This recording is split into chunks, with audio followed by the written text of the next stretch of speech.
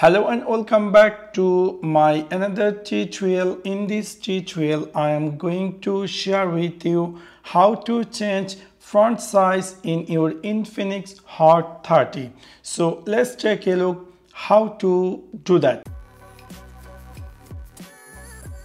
You might be recently brought this Infinix Hot 30 and you are looking for how to change font size in order to do that it's really very easy and simple you need to click in your Infinix Hot 30 settings section. After click over there, you need to click here display and brightness. After click over there, you need to scroll down and then you will find here something say font size. From here, you can easily change font size. From right now, my font size is large if you decide to make it small you can make it or if you decide to make it the medium which is a default font size you can simply do that so within this simple way you can easily change font size in your infinix hot 30 so that's for now. Thanks for watching my video. See you next one.